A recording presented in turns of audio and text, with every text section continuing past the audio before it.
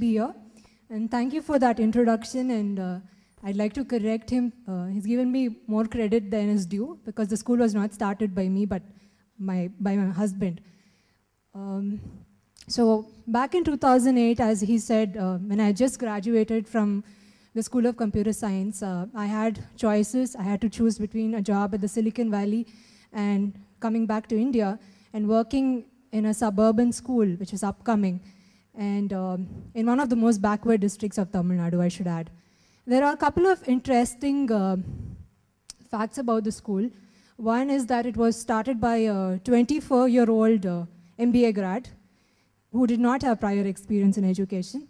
Uh, the second is that it serves uh, predominantly children from um, who come from a, who are first generation learners, which means the expectation out of the school and the dependency on the school is far higher.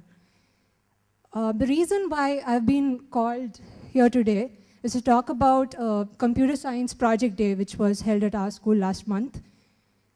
Uh, so I think a little bit of background about the school uh, was necessary to start with. The school, as I said, was founded in the year 2006, and it has grown from a strength of 300 to 1,500 in a span of three years.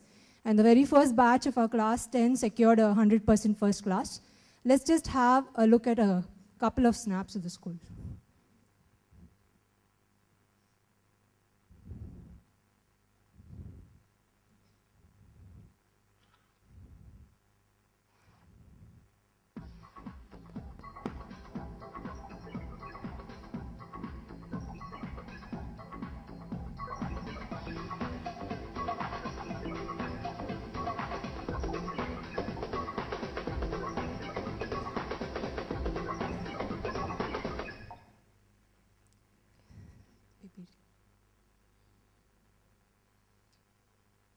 So as the initiatives head, let me just give you a quick run of some of the initiatives uh, that we've taken up. We have a series called Dare to Dream, wherein we bring eminent personalities. We've had uh, the project director of Chandrayaan speaking. We've had uh, Sri Kapil Dev speaking to children not just from our school, but also from the corporation schools around th in Tiruvallur and also the government schools. Uh, we've also uh, established a cricket academy which consists of players equally from our school as well as corporation schools in Tiruvallur. Go to the next slide.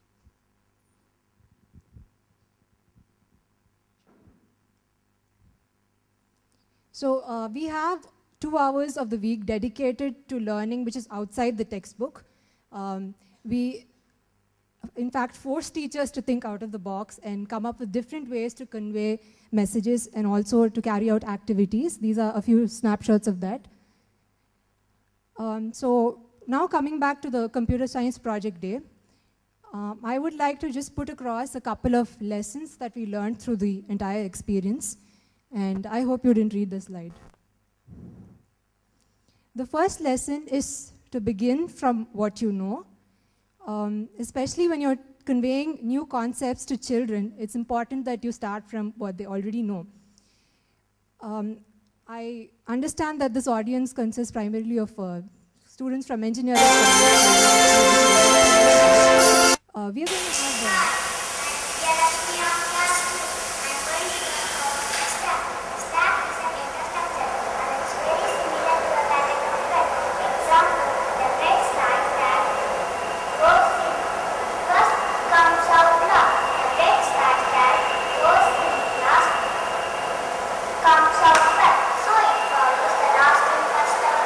What do you mean by data structure? Data structure is how data is stored in a computer. Just like we store a physical library. Thank you.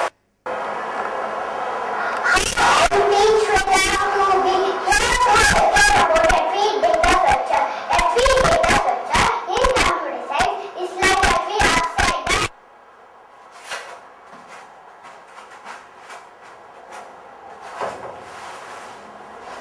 There is a handbook, many branches and sub-branches.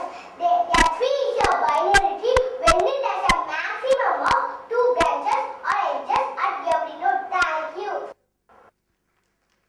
So the concept of data structures, for those of you who are unfamiliar with uh, computer science or from different fields, it is generally typically taught in the first or second year of engineering.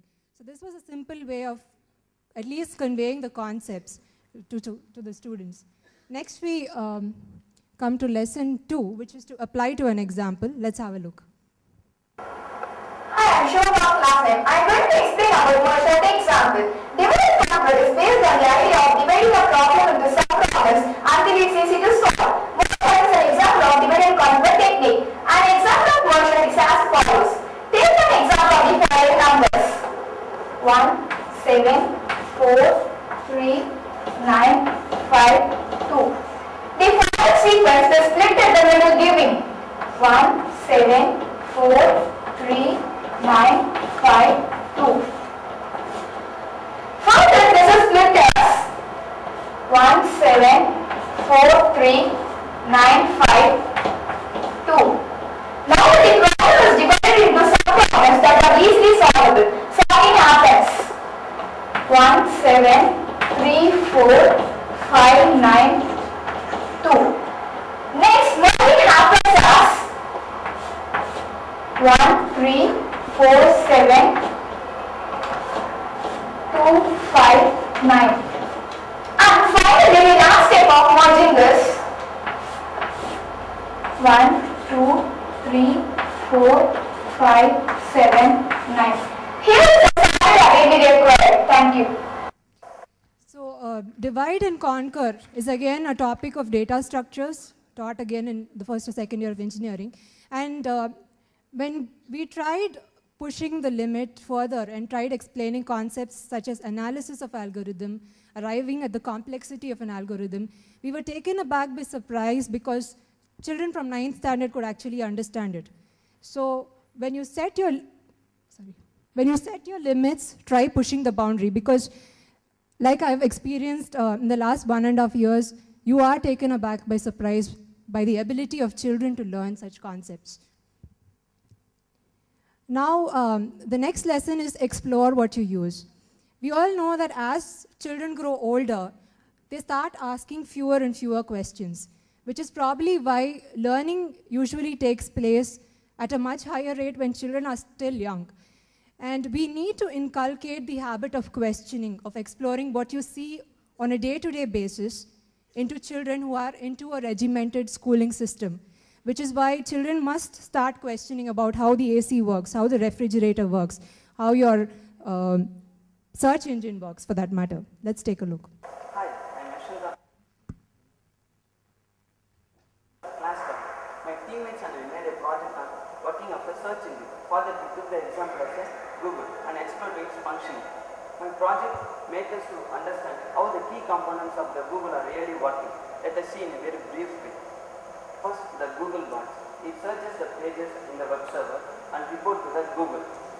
The page ranking is just but ranking the pages on the priorities basis of number of hits. Then the documents are stored in the index server, which is a massive dot From the data of index server, the document server pull all relevant documents related to the topic.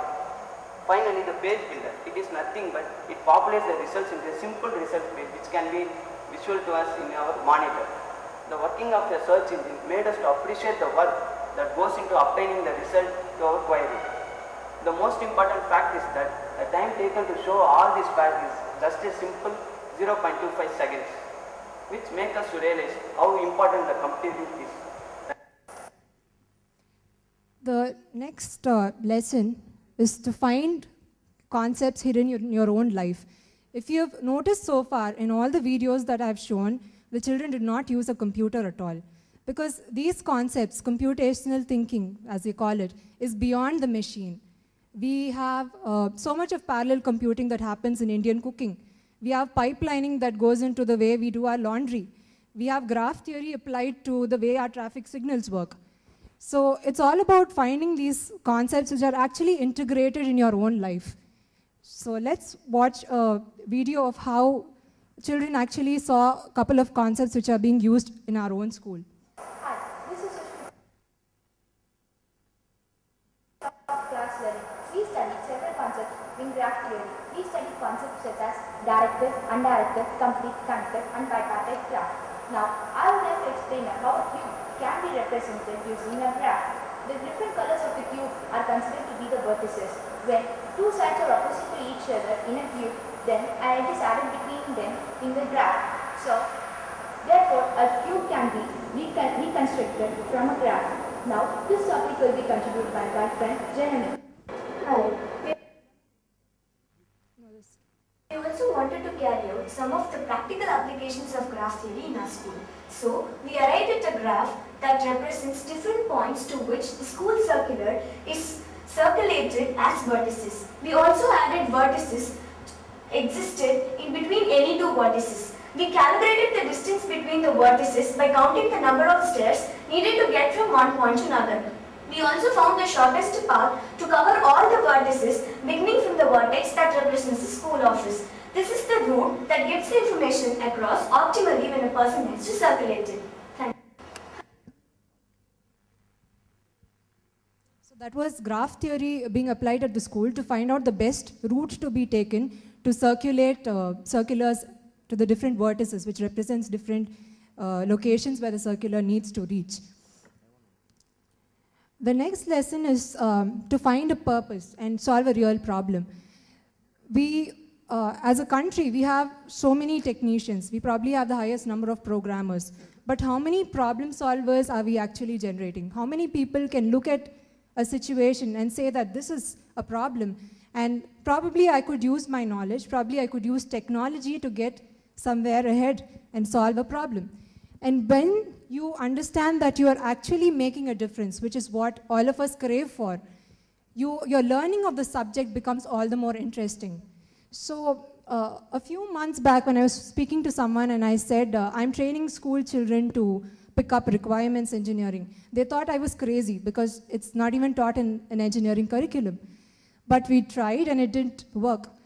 Um, children actually sat down in the school office, observed the working of the school for an entire day, came up with different breakdowns, which is uh, hindrances in the flow of work, and arrived at a requirements spec. And from that, they developed a front end. And these were children of class 11. Let's have a look.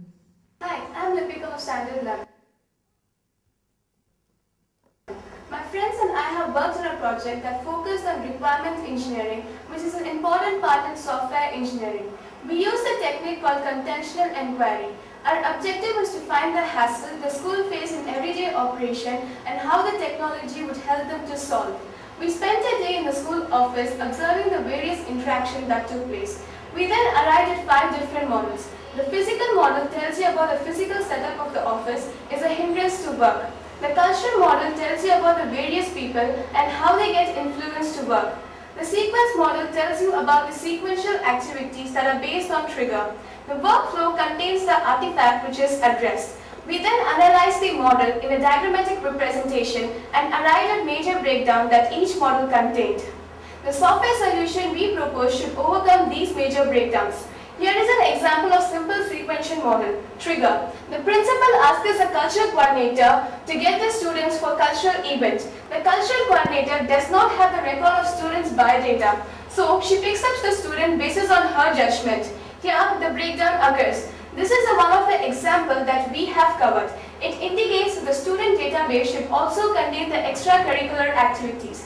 Likewise, we have analyzed the breakdowns in five different models to arrive at front end of our solution. Thank So um, you may wonder why uh, I'm laying so much emphasis uh, to computer education right from the school level, because you could always opt for it later on. But computer concepts are something universal. They are like mathematics.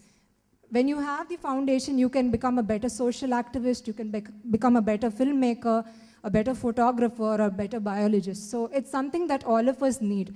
And which is why at the school level, the foundation needs to be stronger than it is right now. Unfortunately, in today's curriculum, we see so much of emphasis on learning tools and learning software, learning commands. In fact, even by hearting commands, which are not developing problem solvers or scientists. They're just making technicians out of our uh, brilliant pool of students. So what is required is a change in uh, the way computer science curriculum is taught. And we often also hear people saying that if you are good at logic and reasoning, you're probably going to be a good student of computer science. If you just reverse that statement, you realize that if you are good at computer science concepts, it's very likely that you're good at logic and reasoning. So computer science as a subject becomes a platform to improve reasoning and logic skills, which is a very important life skill today. So um, as computer science is less hated as compared to mathematics, it can be a novel way to uh, spread, uh, to inculcate reasoning skills among students. Um, I would like to conclude with a picture of a very small subsection of the team. There were over 100 presenters and over 70 projects carried out. And um, in themes like natural language processing, graph theory, uh, there was cryptography, networks, and so on. And uh, that's about it. Thank you so much.